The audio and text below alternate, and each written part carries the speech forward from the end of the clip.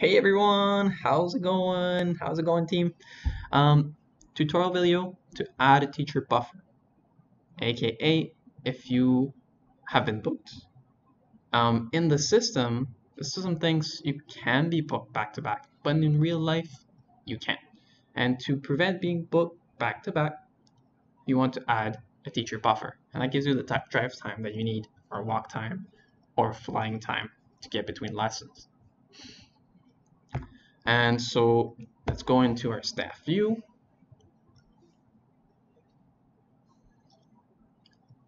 From here, when we see we got a new booking in our schedule, and we know that it's um, it's not filling our full availability. In, in my case, um, I'm Emily. I, I know my voice a little deeper than usual. Um, I know that I'm not available starting 11.30, but anytime before 11, anyone can book me.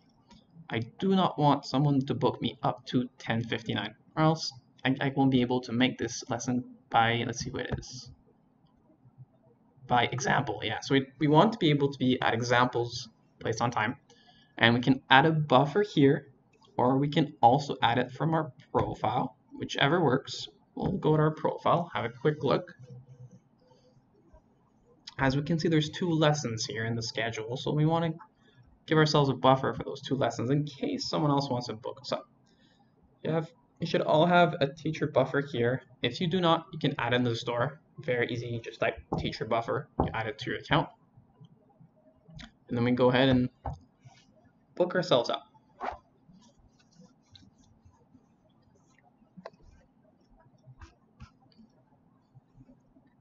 And just, you know, we just have a sip of Red Bull while we wait for this thing to load. And yeah.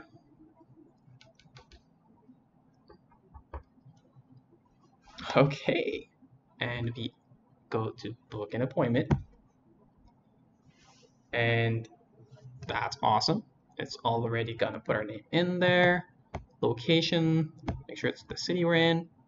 Very, you know, 15 minutes. That's that's what we're looking for. And then we select the time. It was Thursdays. And we're trying to book up to 11 so 10:45 you could also do 10:30 and have a 30 minute break. Because customers cannot book. This the, the smallest time interval a customer can book is 30 minutes. Um, if there's not a 30 minute gap between lessons then you don't even need to add a, a buffer time I'm gonna do 10:30 to 10:45. If 10:45, that's 15 minute break. And we did spot two lessons in a row. So we click this on over here. We go for once every week. And repeat twice. And that's pretty much all she wrote. It's gonna offer ourselves because we are available and then done deal. We officially don't need to worry about being booked back to back. And that is great because when your schedule is good, that means we know we can kind of market your area or your name. So awesome. Okay, that's it for now, guys. See ya. See you soon. Bye.